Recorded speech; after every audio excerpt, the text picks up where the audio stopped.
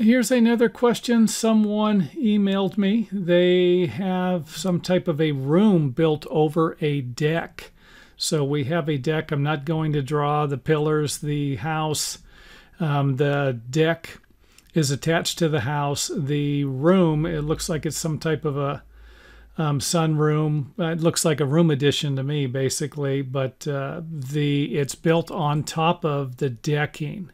So they sent me some pictures and they said that it is flooding with water whenever it rains. It's uh, the water's leaking onto the deck, going under the decking, and creating a problem. So I have a couple of solutions or a couple of things that might work. The first idea and the easiest, um, but uh, will it work over time? Uh, I don't really know. That would be to apply some type of a sealant. I would like to say the word caulking, but uh, some type of a sealant. And I like to use the window and door sealant. And, um, you know, will silicone work for something like this? Probably. But I cannot provide you with product information. That way, when it fails, I don't get in trouble. So uh, get a good sealant. And I have it all squished in here already. You're going to have to put it in there and try not to get it, you know. Some people go in and they put a lot in here and then they put their piece of metal in there. And the piece of metal squishes it all out and it doesn't look good. I like to just put enough in there to get a seal. And you can always go up to get a seal up here and then squish the metal into the sealant and then we have a nice spot that is going to hopefully stop any water from sitting on top of the deck and coming in here. And you could always uh, go to a metal fabricator and have them put a little bend at the end here. Or you might be able to find some roofing edge metal and uh, it might work. The roofing edge metal has some of it has a little bend like this. And of course, it would sit on where the water would come off the top and then go away.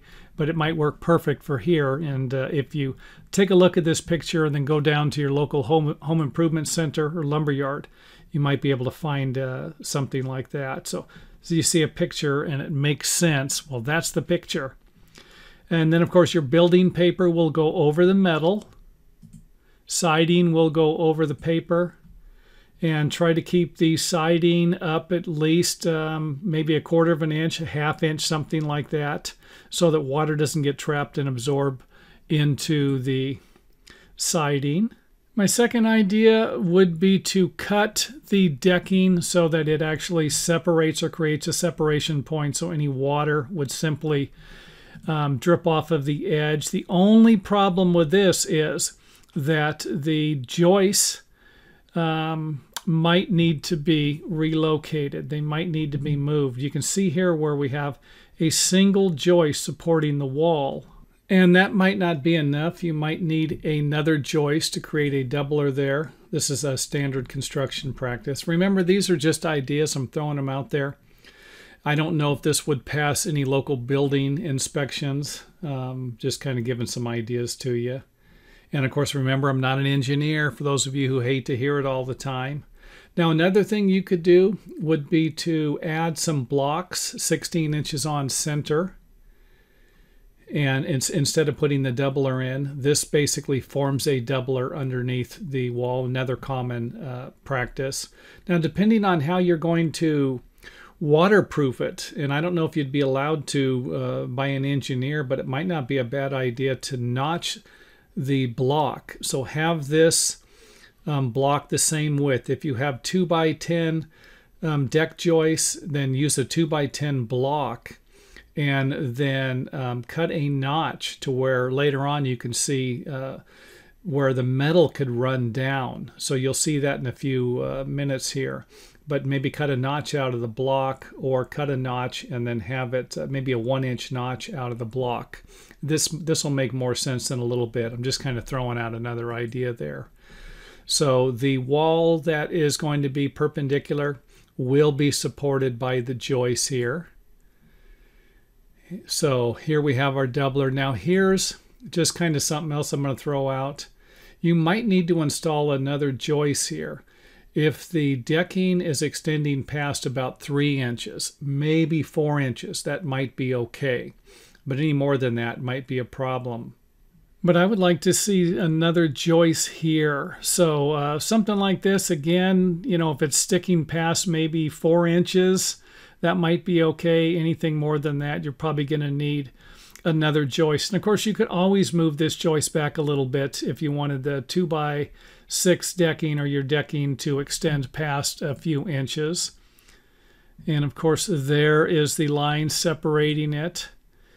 And then, of course, you're going to need to cut the joist. And this might require popping this joist up um, and uh, cutting it, or you might be able to cut it in place. And there we have a nice separation. Nice line around there. Now, if we do cut the decking, it will weaken the strength of the floor, the structural strength of the floor. If we do that, we might need to add some blocks and some straps.